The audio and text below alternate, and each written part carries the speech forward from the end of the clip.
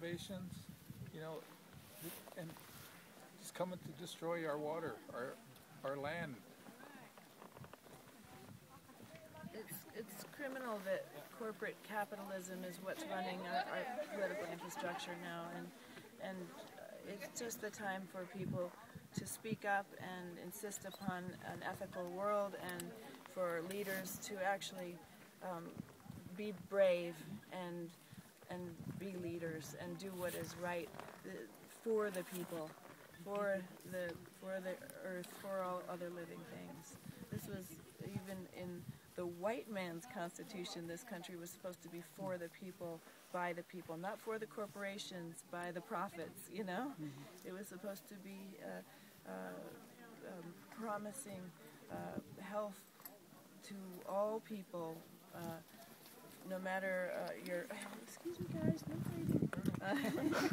um, no matter your you know your sex race religion um, uh, genetic background um, age uh, persuasion uh, or, or uh, I mean it's it's just uh, we have turned into a, a, a, world that is that respects the, the dollar sign uh, over everything, over life. I want to ask you, as an Indian, um, do you have the fear that they take away again your country or your part of your land? How do you feel about that? It's like an invasion. What happened? What are your feelings about that, especially as an Indian?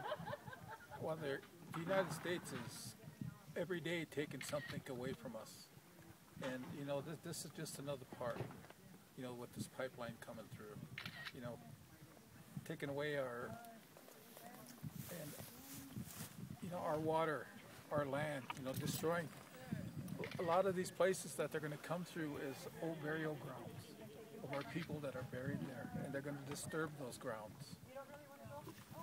I want to ask you, I, am from Germany, but I would consider you as a real cowboy. Is this true? Or? Uh, yeah, I'm a real cowboy. Rode saddle bronc, pack horses and mules. I'm from an old ranching family, five generations in South Dakota on my mother's side.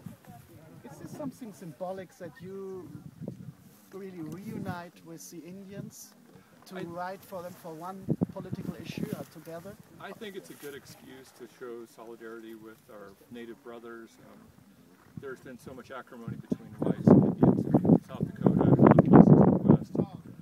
It's something that I've, my whole life, have worked against. I've, I feel great solidarity with uh, First Nations people and also as my family's been uh, um, connected with agriculture and the land, I've always felt a strong connection with the land.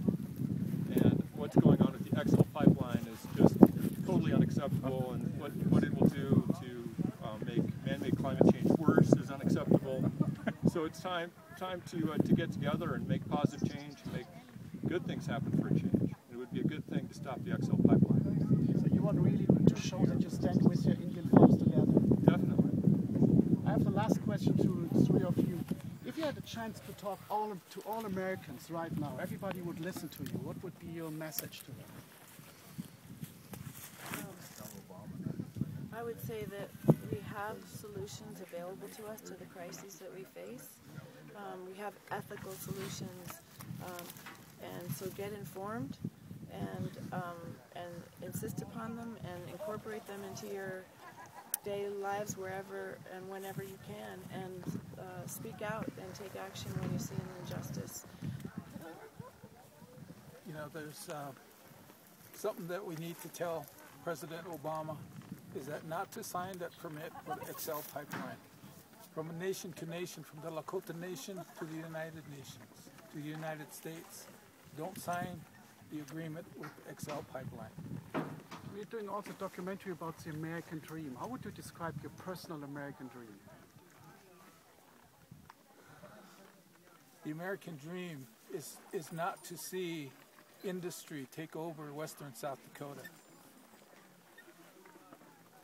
And, and we see it happening now.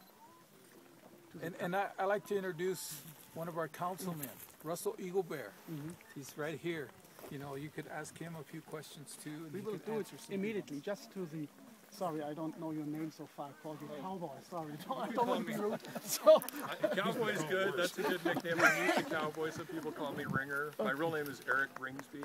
Nice to meet you. Nice to meet you. So, would you, if you could talk to all Americans, what would be your message?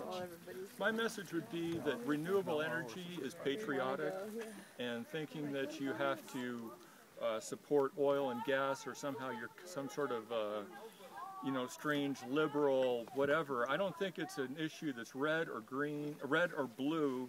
It's a green issue that's just it's that's good for everybody. And renewables, uh, like wind, they're using the wind, wind resources in Indian country is a great start. Um, I just think that it's time to take control back of our country from the oil companies and these other big corporations, and and uh, renewable energy is a good way to go. The climate change is real, folks, and uh, this XL pipeline is very, very dangerous. Um, James Hansen of NASA said that this could be the final nails in the coffin for man-made climate change, making it irreversible. And I think that it's important for Americans to start paying attention to science instead of people who are anti-science. And um, I wish that people in our country would start thinking with our brains instead of being swayed by these emotional politicians. And what is your personal American dream? My personal American dream is to um, to to heal Mother Earth. That is my dream. My dream is to make a personal difference where I felt like I could feel like I could went to my grave that I made a difference for Mother Earth. Thank you so much. Good luck. I hope you will be successful. Thanks for talking to us. So, das wirst du gleich gegessen vom Pferd. Hi, Russell. Hi. How are you? Jetzt gefallen vom Bild, oder? Thank you. Yes.